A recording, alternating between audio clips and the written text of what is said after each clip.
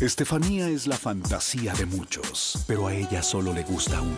Eres arriesgado, rápido, inteligente. Mañana me caso.